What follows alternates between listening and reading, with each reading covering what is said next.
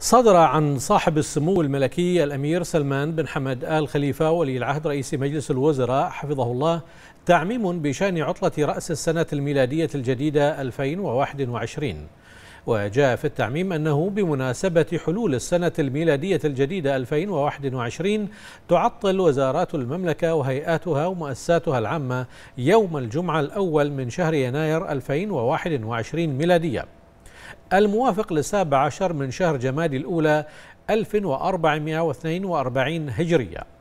وحيث أن هذا اليوم يصادف يوم عطلة أسبوعية فيعوض عنه بيوم الأحد الثالث من شهر يناير 2021 ميلادية.